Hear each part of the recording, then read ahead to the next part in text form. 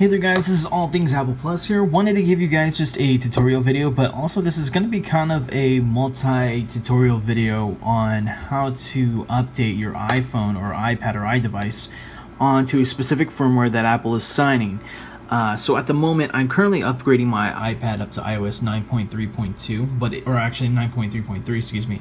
But if you were to ever update or even try to plug in your device and hit the update button within Apple's or within iTunes, uh, you'll be prompted to um, to download the iOS 9.3.4 firmware.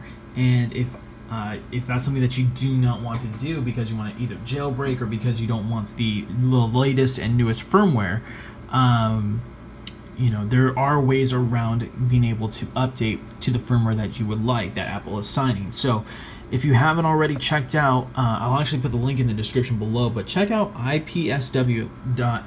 Let me scroll in a little bit here. Very cool.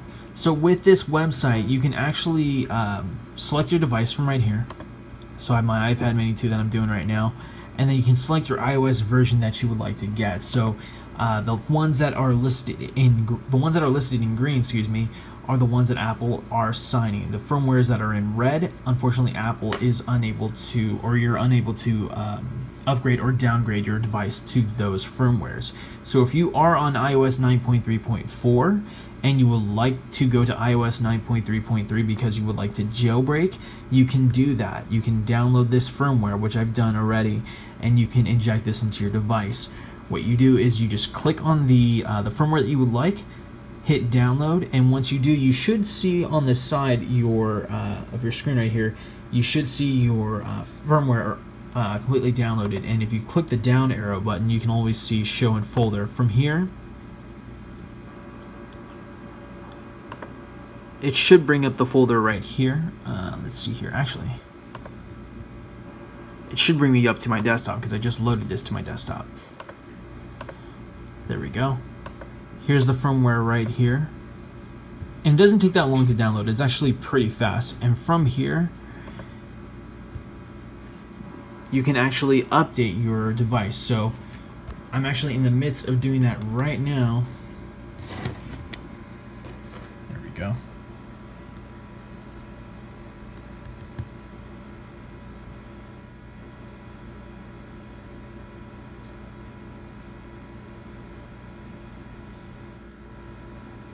All right, cool deal.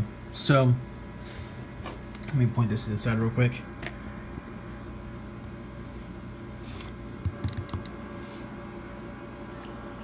All right. So, originally I was on iOS 9.3.2, but now, after upgrading, I'm on iOS 9.3.3. So, um, any firmware that you would like to uh, jump to that Apple is still signing, you can go ahead and do that. So, actually, let me plug this guy back in. There we go.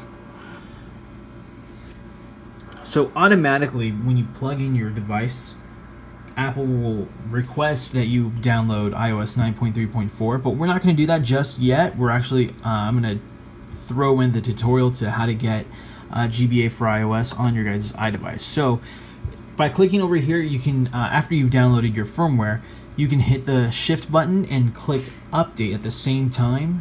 And when you do, it'll bring a, um, uh, a pop-up bar for you. So all you have to do is just scroll down, find your firmware, and open it up, and it will actually install onto your iDevice. So we won't need our computer anymore at this moment. All right.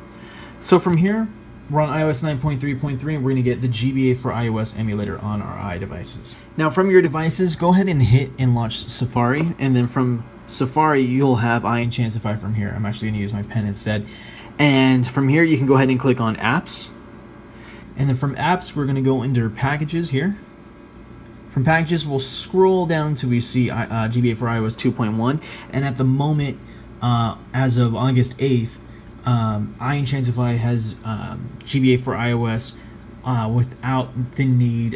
You can actually download it without the need of a date trick or anything. You can just automatically download it. Um, that that isn't to say that Apple can't revoke this later on in the future. So keep. Um, what I'll do is I'll also keep you guys updated with this uh, with this emulator. So if you guys are in a you know in a need for this emulator and you guys want it on your devices, I will keep an update on there. So letting you guys know whether or not it has been revoked or not. So we're gonna go ahead and hit install. We'll hit install one more time, and it should bring up a uh, uh, excuse me an advertisement. Go ahead and let the the counter go ahead and count down, and we're gonna hit skip this ad and then it should prompt us to go ahead and install so we'll hit that we'll back out and we won't need to do any sort of date trick or anything like that we can go ahead and launch the app. But before we do we do have to trust it so we'll hit cancel. Go to settings. We'll go under general. Scroll all the way down to device management. From device management we'll have our enterprise app here. We'll go ahead and click on it and trust it. Go ahead and back out and we can go ahead and launch the app now.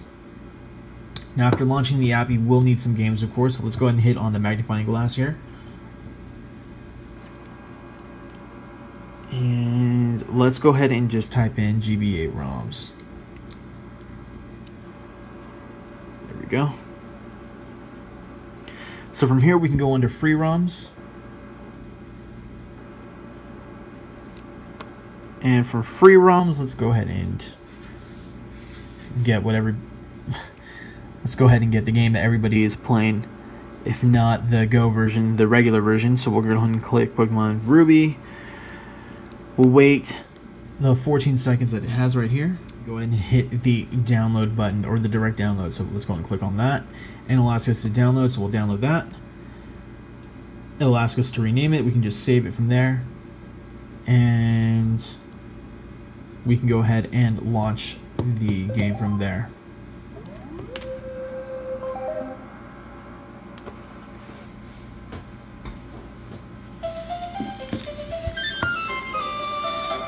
So we can go and hit start. Actually, let me turn this down a little bit.